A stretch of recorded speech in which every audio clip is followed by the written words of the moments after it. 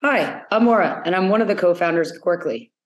Have you ever had to buy a gift or pick up a bottle of wine on the way to a friend's for dinner, only to find yourself standing in front of a wall of wine, lost, confused, and paralyzed by choice? Fortunately for me, when I find myself in these situations, I call my go to wine guy and co founder Gannon, and he helps me pick the right bottle at the right price for the right occasion. We know not everyone has a Gannon, but what if they could?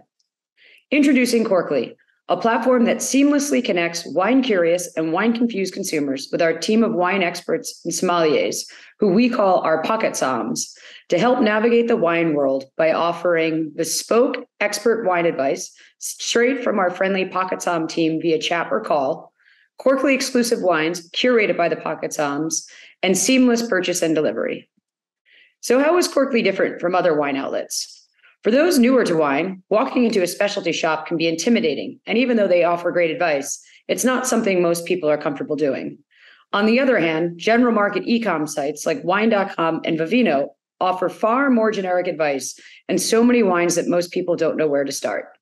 Corkly bridges this gap by offering accessible, friendly advice via our pocket somms with the convenience of online shopping and delivery.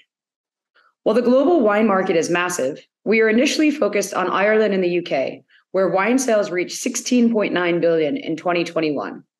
Since the vast majority of wine sold in these markets is through discounters like Aldi and Tesco, we are basing our SAM on specialty shop and e-com sales, which hit 4.1 billion last year, since these are more akin to the Corkly experience. In five years' time, we believe Corkly can capture 1% of this market, offering a SAM of 41 million euro.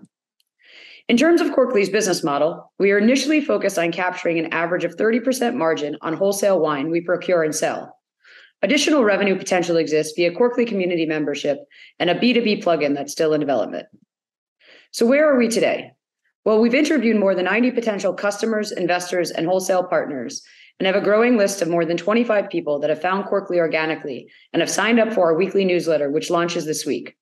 We are also wrapping up initial platform development with the goal of having our MVP available to consumers here in Ireland by the end of the year. From there, we'll be testing features with our early users, growing our customer base, and generating revenue. In terms of our team, Gannon is our resident sommelier and head of industry with more than a decade of hospitality experience. While I'm tasked with all things business development, given my nearly 20 years growing and scaling tech businesses in the US. And Kian leads all platform development, thanks to his extensive experience building products for early stage startups. So if you're wine curious, confused, or an enthusiast, we invite you to join us at Corkly.wine. Thank you.